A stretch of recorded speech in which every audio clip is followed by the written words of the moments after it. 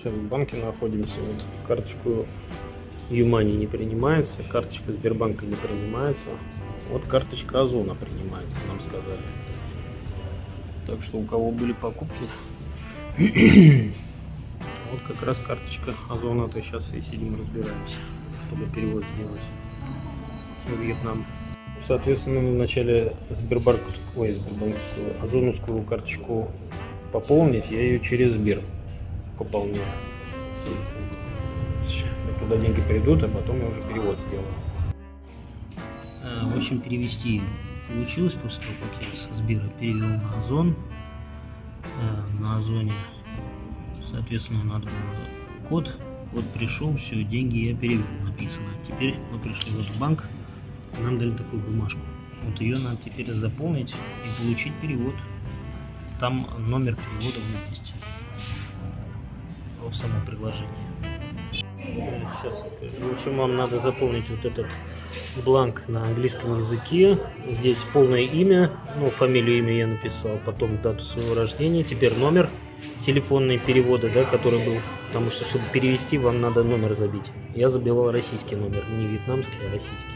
С российского на российский номер. Так что вот его сейчас записываю. Сейчас, ну, нам сказали, типа, номер вьетнамский записывайте. Я говорю, нету, я роумингом пользуюсь. Он говорит, да, записывайте тогда российский. Там написано citizenship, это Россия написать лучше. Ну, соответственно, все на английском языке. Теперь следующее, там где написано ID type and details, надо писать номер э, паспорта, э, загранпаспорта. Ну, соответственно, здесь люди все помогают в банке, поэтому не проблема вообще. А, дата выдачи. Следующая идет дата выдачи. Надо записывать. Это issue date. Вот там надо написать дату выдачи. Дальше expire date. Это, наверное, когда заканчивается. Дата окончания срока. Expire date. date. Так, теперь адрес. Вот там, где написано адрес, надо писать адрес проживания вот здесь, во Вьетнаме, в Магничанге. И мы написали. У нас как отель называется? Soul Flowers. Но мы не писали имя, написали только адрес. Там 112, дробь 12, Хонанг, Хо 3, Тхерм и Ничанг там написали. В общем, просто на годе адрес он указан, поэтому можно просто скопировать, то есть это списать. Либо заранее об этом надо позаботиться, какой у вас адрес, где вы проживаете. Sanders. Senders Details. Что это такое? А, Себя, то есть? себя. Да, сам себе я отправил. Окей. Все получается.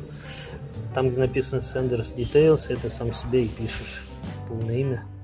Ну, все то же самое дублируешь практически, кроме адреса. Номер надо указать российский. А, а у меня и там, и там российский. Я через роуминг. Анташ удивился, говорит, вьетнамский мне. Я говорю, у меня только российский, я роумингом пользуюсь. Он говорит, хорошо, пишите. В графе там, где Senders Details, там, где адрес, там пишется только Санкт-Петербург. Дальше ниже написано Тхонг Тим Чи. На английском получается Money Transfer Details. Э, И вот э, графа Total Amount to Receive пишется 100. Дальше, где currency, пишется USD, потому что мы в долларах получаем. Ливинг, ж- живите. Надо просто Ой, написать полз. лидер. Здесь просто ливинг? Да, а тут э, спрашивают, зачем вы перевели деньги. А, для, ж- что я живу это здесь. просто линку Лидер, да. В общем, где propose of transaction, transaction. Здесь просто надо указать причину перевода ливинг. А, окей. Фамилия, имя, просто на английском. А, понятно. Ну просто то, же- самое, что и здесь да, вначале. ну как вы вот расписываетесь в Москве и пишете фамилию А, всё, и понял. инициалы. Вот В общем, там, где подпись, надо Мы еще расписываемся. А вы из Москвы, да? Да. Мгм. Там, где подпись, надо еще снизу подписать свою фамилию и имя своей рукой, соответственно. И все, в принципе, готово. Мы попросим сейчас копию. Попросили копию, чтобы потом не, не путаться. Спасибо. Transfer number. А, вот здесь еще где transfer number надо написать тот заказ, который у вас должен быть на этом самом, на приложении. Сейчас мы его найдем. В общем, номер надо записать. У меня получается 11-значный номер. Это который отображается в короне. И вот она забрала паспорт, вот эту бумажку. И все, сейчас нам должны деньги отдать. Я переводил, получается, э, 100 долларов. Заплатила за них, сейчас скажу. Копию дали. Это очень хорошо, очень удобно. Получается, у меня по карте прошло 8568,59 рубля. Это 100 долларов. Получается где-то курс 85 долларов. Э, 85 рублей за доллар с копейками. Я попросил, соответственно, копию сделать. И пустой бланк, говорю, я дома заполню и все. Это удобно. И Пришел уже с заполненным бланком, бланком получил деньги и хорошо. Кстати, а вот если посмотреть, сколько сейчас курс доллара, получается 84, 23. Вот, а у нас получается 85 и 6 что ли с копейками. Ну, небольшая. Это, по-моему, самое выгодное все равно. Выгоднее, чем другие там криптовалюты, еще что-то. Вроде бы. А банк вот он называется B, BIDV. Вот он. А он как раз недалеко от нашего отеля находится. А вот, соответственно, его сайт. То есть вы отделение банков можете увидеть э, во Вьетнаме, где находится, и там получить деньги. Буквально тут прошло 5 минут, сейчас меня сюда позвали. Сейчас сяду. Как-то они там разбираются. Как будто там где-то ошибка, не знаю.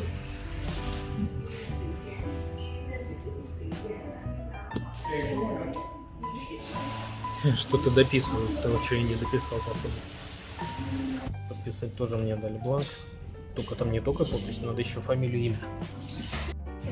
Вот она мне дала другой бланк.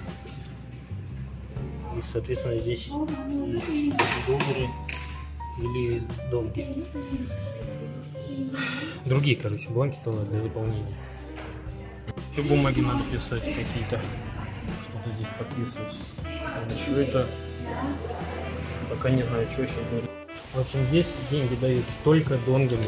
Долларов здесь не получите. Получается, они дают деньги только донгами. Вот они дали почку. По курсу, по какому курсу ты сказал?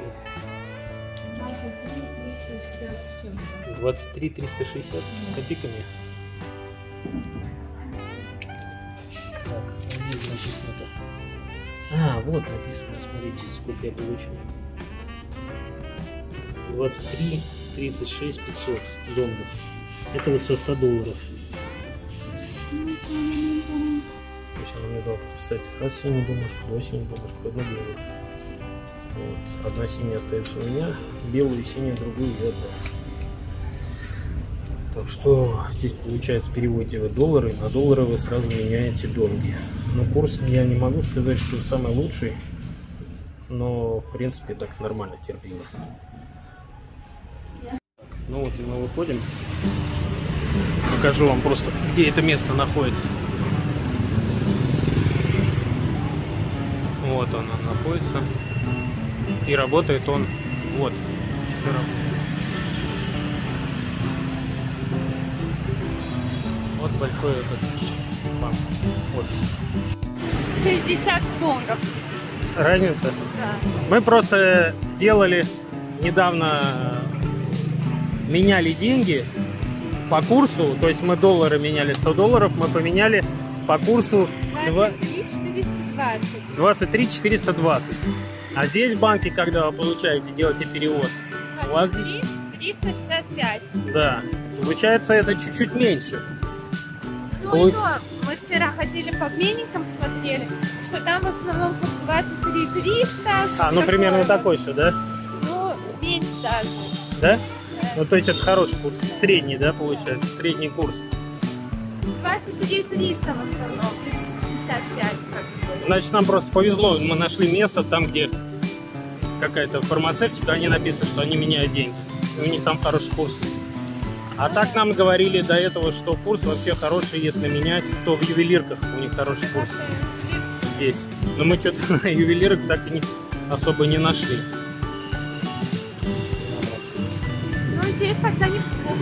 Здесь, получается, ты рубли переводишь в доллары. Во-первых, по завышенному курсу, он, грубо говоря, 84, а ты его по 85 с копейками.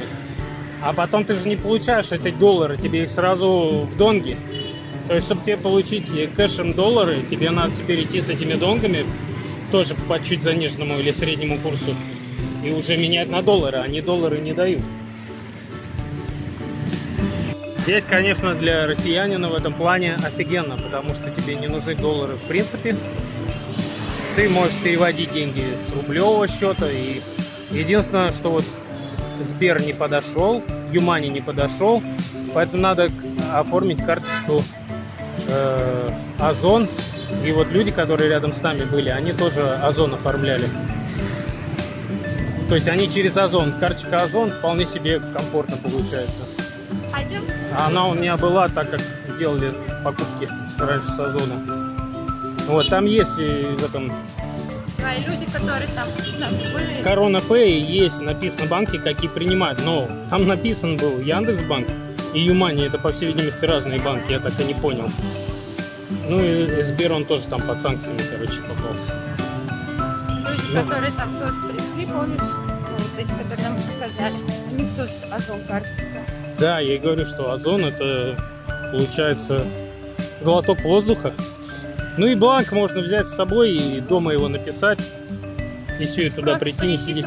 Но, в принципе, они комфортно. Мне понравилось, она все подсказала. Она берет сама переводчик, сама переводит, чтобы тебе было понятно. Но перевод она, правда, на английский. Но мы на русский не просили, так все ясно.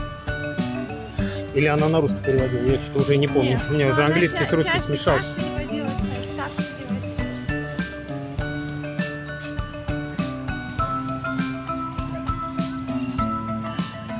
Получается, нам надо вот эту сумму, чтобы узнать э, курс в рублях реально, чтобы двойной конвертации избегать. Надо разделить на, на вот эту сумму, которая была потрачена 8568,53. Получается, что на 1 рубль можно купить 272 донга. Получается, э, здесь 272, это то, что мы купили. А если брать курс, то вот 281,57. То есть, грубо говоря, на 10 донгов меньше от, сред- от среднего.